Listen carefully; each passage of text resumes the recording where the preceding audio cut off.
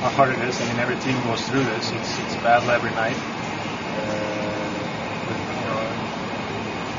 today we're talking about the offense, and that's where I think we, we need to improve the most right now. We, uh, not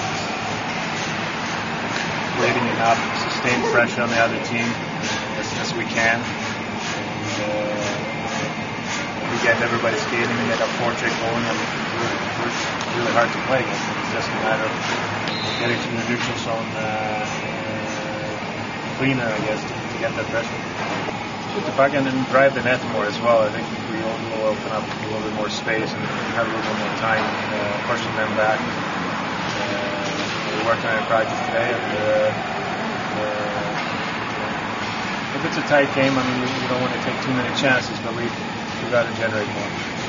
Pittsburgh's a real good club. We know what they're all about. We've seen them lots. You know that Crosby, Malkin, those guys are going to be, you know, flying at home. They usually are. And, um, you know, we just got to be ready for them. Jason, with Spets on, or Spets with Crosby on the tear that he's on, is this a, a challenge that you particularly relish? Try and shut him down. Well, it's always a challenge. You got to be ready for him. He's, uh, you know, he's always focused and you know making things happen out there. And you have to stay out of the penalty box. Uh, you know, I think the stats say they have over 100 power plays.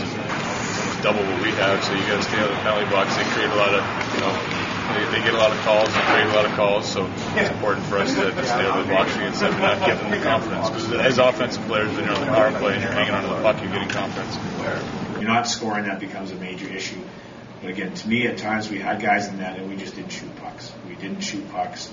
We pulled up. We tried to look for pass. We have a lot of guys who at times have kind of a pass mentality instead of a shooter mentality.